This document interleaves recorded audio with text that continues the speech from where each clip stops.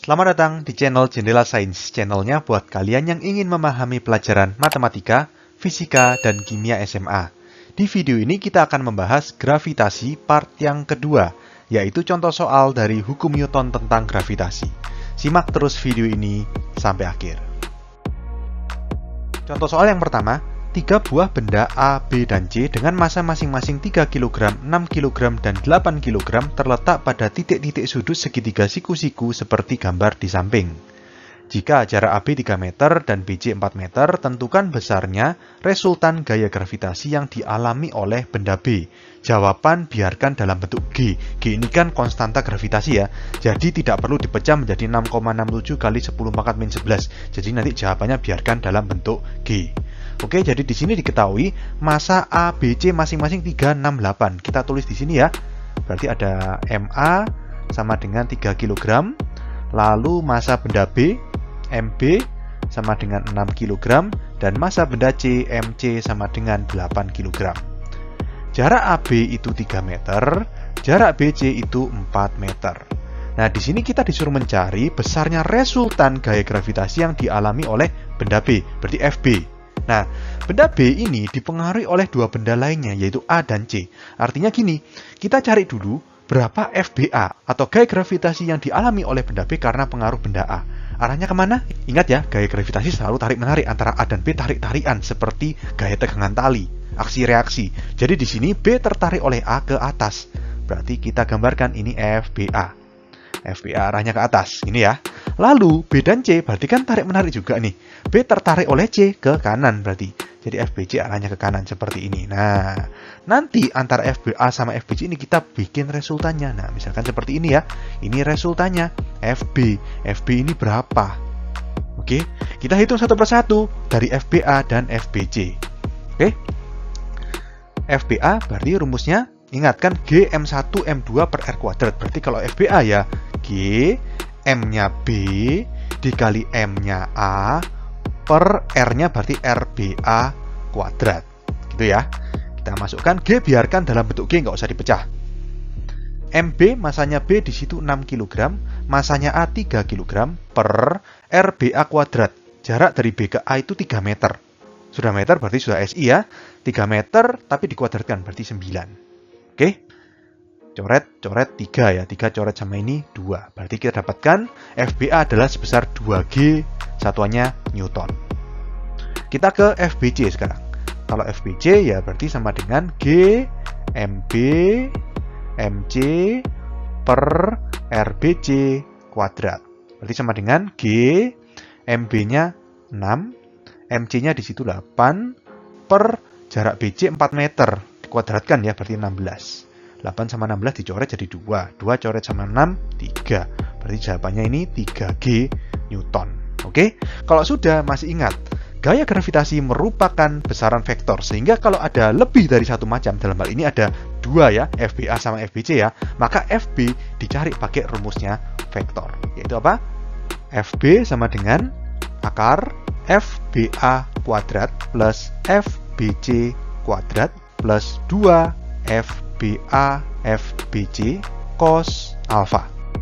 Jadi F1-nya itu FBA, F2-nya itu FBC gitu ya. Jadi sama dengan akar FBA kuadrat. FBA-nya kan 2G, dikuadratkan berarti 4G kuadrat. Plus FBC kan 3G, dikuadratkan berarti 9G kuadrat. Plus 2 kali 2G dikali 3G dikali cos alpha. Alpha itu apa? Alpha itu adalah sudut yang diapit oleh FBA dan FBC. Kita lihat di gambar ya. FBA kan arahnya ke atas, FBC arahnya ke kanan. Berarti sudut yang diapit oleh FBA dan FBC adalah 90 derajat karena siku-siku. Jadi kita masukkan di sini cos 90 derajat. Oke, kita hitung ya, berarti sama dengan akar 4G kuadrat ditambah 9G kuadrat itu 13G kuadrat. Nah, cos 90 itu kan 0 ya kan? Kalau cos 90 derajat itu 0 maka dikalikan dengan apa pun hasilnya pasti 0 ngerti ya? Jadi ini semua akan menjadi 0 jadi tinggal 13 G kuadrat aja. Oke? Jadi di sini kita lanjutkan berarti FB nya sama dengan G nya kita keluarkan dari kurung berarti G akar 13 satuannya Newton. Oke? Jadi kita dapatkan jawabannya besar resultan gaya gravitasi yang dialami oleh benda B itu adalah G akar 13 Newton Soal berikutnya, dengan menggunakan data massa bumi 5,972 kali 10 pangkat 24 kg, sedangkan jari-jari bumi 6.371 km, dan tetapan gravitasi 6,67 kali 10 pangkat min 11 Nm kuadrat per kilogram kuadrat, tentukan percepatan gravitasi pada permukaan bumi. Jadi di sini diketahui masa bumi itu M besar ya, karena kan masanya planet. Ya, masanya planet M besar sama dengan 5 0,972 kali 10 pangkat 24 kg.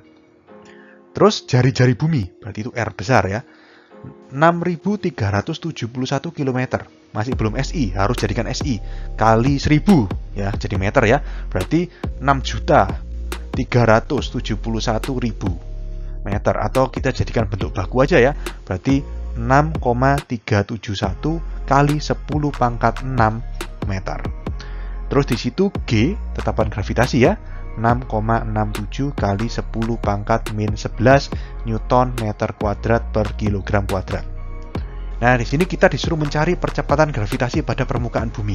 Nah, rumus dari percepatan gravitasi atau kuat medan gravitasi, G kecil itu kan G besar, M besar, per R kuadrat. R-nya masih R kecil. R kecil ini apa? R kecil ini jarak dari benda ke pusat planet. Nah, di sini kita disuruh mencari percepatan gravitasi pada permukaan bumi. Kalau pada permukaan bumi, masih ingat ya, berarti kan gini. Ini bumi, terus bendanya itu ada di sini, di permukaan. Berarti jarak dari benda ke pusat bumi adalah jari-jarinya bumi. Berarti R kecil sama dengan R besar.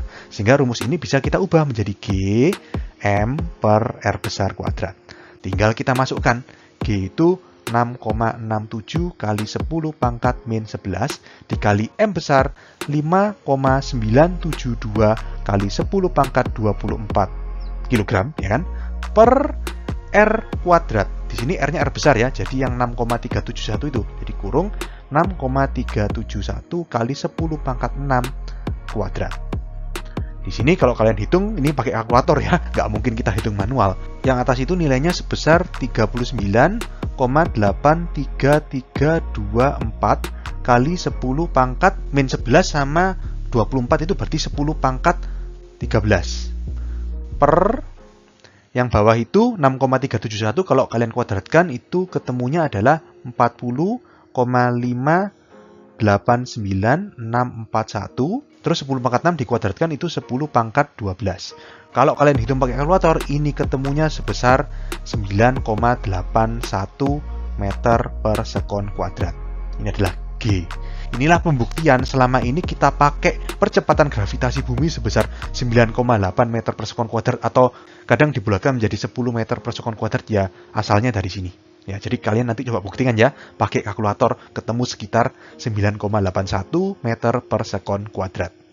Oke? Contoh soal berikutnya, sebuah benda bermasa 9 kg memiliki berat 90 Newton saat diukur pada permukaan bumi. Tentukan berat benda tersebut pada A. Ketinggian 2R dari permukaan bumi, di mana R itu adalah jari-jari bumi. Dan yang kedua, permukaan sebuah planet yang masanya dua kali masa bumi dan jari-jarinya setengah jari-jari bumi.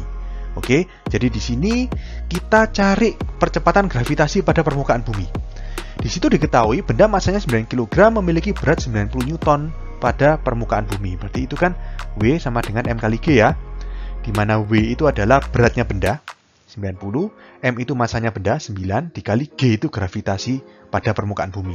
Berarti G-nya 90 bagi 9 atau 10 meter per sekon kuadrat. Nah, nilai G ini yang akan kita jadikan pembanding. Sekarang kita ke soal A. Soal A di sini adalah kita disuruh mencari berat benda tersebut jika diukur pada ketinggian 2R dari permukaan bumi. Jadi gini, masih ingat ya, masa benda itu di mana-mana sama. Jadi masa sebuah benda 9 kg di permukaan bumi 9 kg, di ketinggian 2R ya 9 kg, di planet lain masanya juga 9 kg. Yang berbeda itu beratnya. Berat bisa berbeda karena gravitasinya yang berbeda. Oke, jadi di sini sebelum kita mencari berat benda pada ketinggian 2R dari permukaan bumi, kita cari dulu berapa gravitasi pada ketinggian segini nih. Masih ingat ya istilahnya waktu itu G aksen ya. Kita pakai cara perbandingan. Jadi G aksen per G Masih ingat rumusnya ya, sama dengan R per R plus H dalam kurung kuadrat. G aksen, biarkan G aksen, ini kan kita cari ya. G itu 10, sama dengan kurung R per R plus H. Di sini kan ketinggian dari permukaan bumi, berarti 2R ya. Dalam kurung kuadrat. Jadi G aksen per 10 sama dengan dalam kurung R per 3R dalam kurung kuadrat. R-nya dicoret. G aksen per 10 sama dengan sepertiga kan? Sepertiga dikuadratkan berarti sepersembilan. Oke, jadi kita dapatkan di sini berarti 9 G aksen sama dengan 10. Atau G aksen sama dengan 10 per 9. Satuannya meter per sekon kuadrat. Oke, kita nemu G aksen atau percepatan gravitasi pada ketinggian 2R. Nah, di sini kita cari W. Ya, W-nya misalkan kita pakai W aksen ya. W aksen sama dengan M dikali G aksen. Jadi W aksen ini berat pada ketinggian 2R. Sama dengan M masanya tetap 9 kg. Tapi G aksennya sekarang 10 per 9. 9-nya dicoret jadi tinggal 10. Jadi W aksennya sama dengan 10 Newton. Artinya, berat benda tersebut ketika diukur pada ketinggian 2R dari permukaan bumi adalah 10 Newton. Oke, kita ke soal B. Nah, soal B di sini kita disuruh mencari berat benda itu ketika diukur pada permukaan planet yang masanya dua kali masa bumi dan jari-jarinya setengah kali jari-jari bumi. Jadi di sini kita pakai cara yang perbandingan yang bagi rumus ya, yang dua planet, planet satu sama planet dua. Misalkan bumi itu yang planet satu dan planet ini yang planet 2. Planet masanya dua kali masa bumi berarti M2 sama dengan 2M1. Ya, jadi bumi yang satu, planet yang dua. Dan jari-jarinya berarti R2 sama dengan setengah jari-jarinya bumi, setengah R1. Oke? Masih ingat rumusnya? G1 per G2 sama dengan M1 per M2 dikali dalam kurung R2 per R1 kuadrat. G1 di sini kan gravitasi punya bumi ya pada permukaan bumi, berarti 10. G2-nya ini yang akan kita cari. Nah, M1 ini masanya bumi, biarkan M1. Sedangkan M2 ini kita substitusi. Tadi kan M2 masanya planet dua kali masanya bumi, berarti M2 di sini boleh kita ganti dengan 2M1. Dikali R2 juga kita ganti, setengah jari-jarinya bumi, setengah R1 per R1 kuadrat. M1 dicoret, R1 dicoret. Jadi 10 per G2 sama dengan ini setengah ya. Setengah dikali setengah kuadrat. Berarti seperempat. Oke, berarti setengah kali seperempat kan seperdelapan ya. Langsung kita kali silang. Berarti G2-nya sebesar 8 kali 10 atau 80 meter per sekon kuadrat. G2 ketemu, kita cari W sekarang. W-nya misalkan kita kasih tanda W2 gitu ya. Sama dengan M dikali G2. W2 ini maksudnya berat benda di permukaan planet 2 atau di permukaan planet.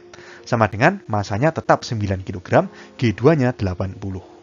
Berarti W2-nya kita dapatkan sebesar 720 Newton. Atau artinya, berat benda tersebut ketika diukur pada permukaan sebuah planet yang masanya dua kali masa bumi dan jari-jarinya setengah kali jari-jari bumi adalah 720 Newton. Kita ke contoh soal berikutnya. Berat benda di permukaan bumi berkurang 75% saat berada pada ketinggian H dari permukaan bumi. Tentukan nilai H dalam R, di mana R adalah jari-jari bumi. Jadi ini ilustrasinya seperti ini. Misalkan berat benda di permukaan bumi misalkan 100 Newton gitu ya. Ketika dia dibawa ke ketinggian H dari permukaan bumi, beratnya berkurang 75%. Jadi yang awalnya 100 Newton berkurang 75% berarti kan tinggal 25%-nya. Hanya tinggal seperempatnya, tinggal 25 Newton. Ngerti ya? Nah, berapa ketinggian H itu? Oke. Nah, jadi di sini kita bisa simpulkan kalau misalkan W aksen, W aksen ini adalah berat benda ketika pada ketinggian H itu sama dengan seperempat dari W. Karena kan berat bendanya berkurang 75%. Jadi berat benda ketika diukur pada ketinggian H itu hanya seperempat dari berat benda ketika diukur pada permukaan bumi. Ngerti ya? Jadi W aksen sama dengan seperempat W. W aksen itu kan M kali G aksen ya kan? Masa kali gravitasi di tempat itu, di ketinggian itu. Sama dengan seperempat M kali G. Ingat, masa selalu sama. Berarti di sini M dicoret, G aksen sama dengan seperempat.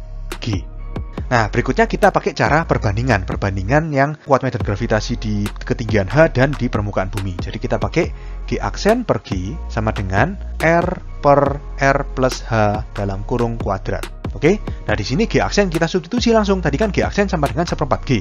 Berarti seperempat G per G sama dengan kurung R per R plus H kuadrat.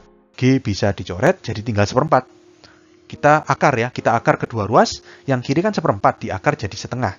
Yang kanan diakar berarti kuadratnya hilang. R per R plus H. Kita kali silang berarti R plus H sama dengan 2R. Di sini kita disuruh mencari H dalam R. Jadi H sama dengan 2R min R. Ya sudah, H sama dengan R. Atau H sama dengan jari-jarinya bumi. Oke, jadi pada ketinggian H sama dengan R atau sama dengan jari-jarinya bumi, berat benda itu akan berkurang 75% jika dibandingkan dengan berat benda tersebut pada permukaan bumi. Oke, paham sampai sini? Oke, sekian untuk video kali ini. Untuk melihat playlist lengkap dari bab ini, bisa kalian klik thumbnail yang ada di sebelah kanan atas ini. Jika ada pertanyaan, saran maupun kritik bisa kalian tulis di kolom komentar. Semoga bermanfaat dan sampai jumpa di video selanjutnya.